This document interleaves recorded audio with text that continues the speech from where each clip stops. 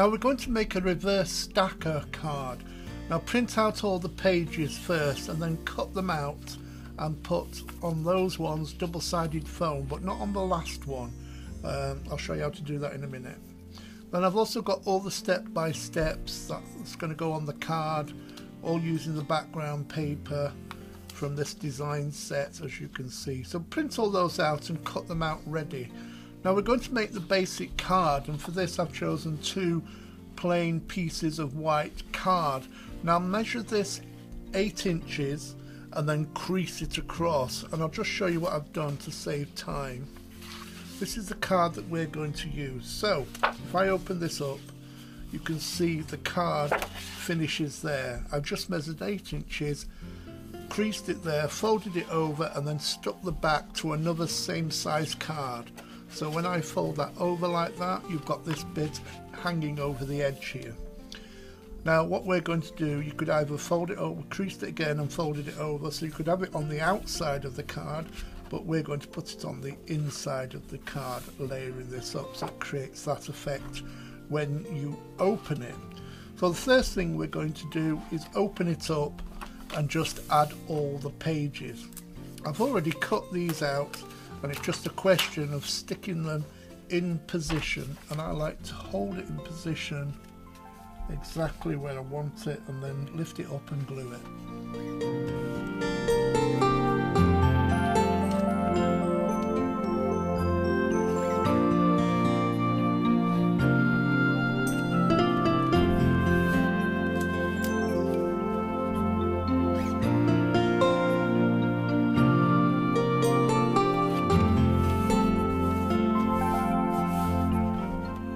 Fold this flap over and then you have the next section ready to stick down which is this one.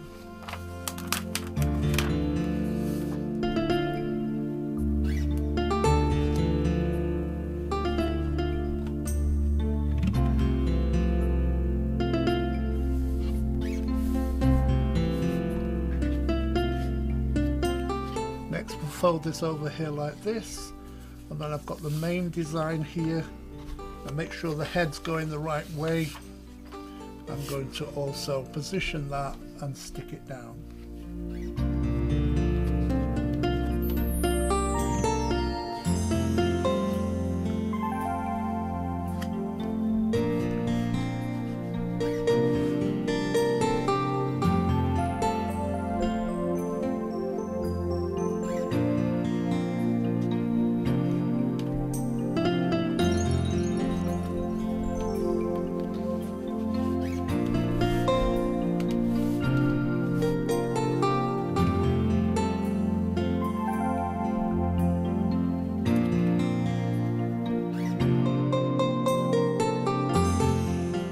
make the reverse stacker, I've just cut all the pieces out. The main one here, I've just kept flat. The other step-by-steps, I've put some foam pads on the back ready to stick down and all you have to do now, working in reverse with the smallest aperture in the middle, just assemble these all together.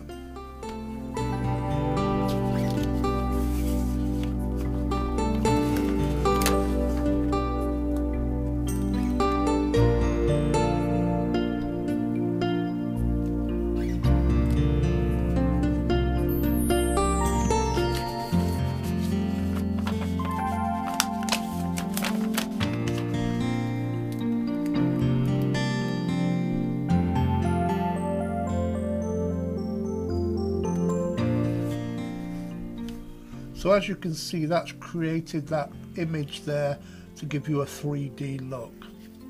Now the final image I've got here.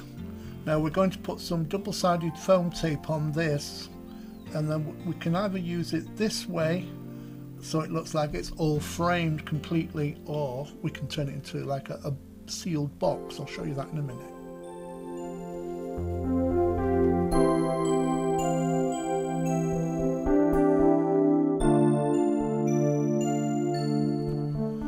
Now, that's finished like that. Now that could just be framed as it is, as you can see. There's various ways of using that now. We can either use it on the card like so, pop that there, you can position this onto the card. It's got that raised effect, gives it a nice extra 3D look. Put it on a jaunty angle, put it up in a corner, add your sentiments, do whatever you want to do as, as a 3D picture. But what we're going to do is I'm going to cut this and bend it around and I'll show you how to do that. First of all, turn it over like so.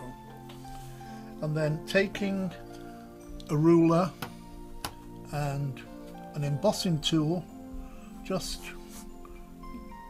lay it along there. It just needs to come out a little bit so you can get this in between. And all I want you to do is crease it at this stage so it bends easily. Go right to the edges and just do this all the way around.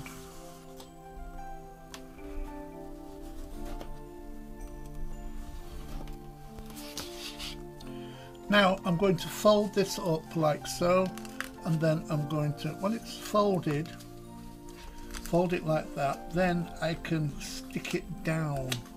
Just use some of my glue here, good quality glue, or use a double-sided tape. So first of all, do two sides.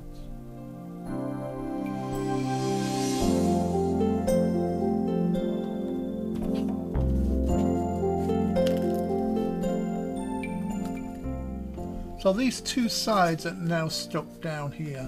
Now what I want you to do is just crease along the outside edge there. So it creates a kind of a, a straight line down there, just crease it. And then take your scissors and just cut that carefully up to the edge. You can take that off. You don't want to get in the way. And then cut down the opposite side here. and then that will fold in like so and then when you've done the other side this will be able to fold over and stick down.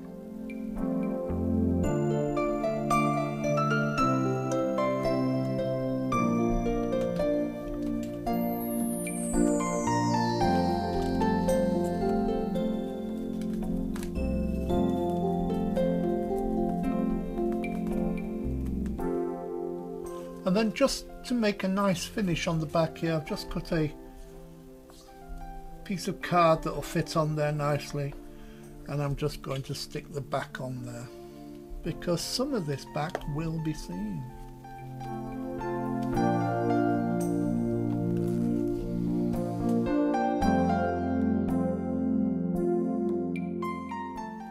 And now I've got my reverse stacker here and I've sealed it all the way around, kind of framed it, got the back on there. Now if I was going to stick that directly on the front of the car, I could have left the back looking a little bit messy. But I'm actually going to give you another option. I'm going to open the card, that will become a bit of a leaf there, and then this is going to stick on here.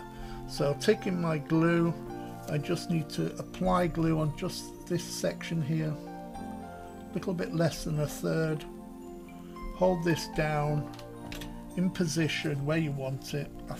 You can either put it down there at the bottom, middle, top. I think I'll just do it slightly down from the top and then just stick that down and hold that in position until the glue's dried.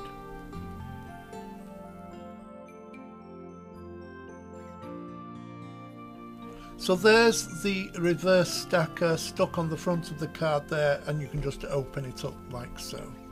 And because you put the backing on, you've also got like a nice background there too.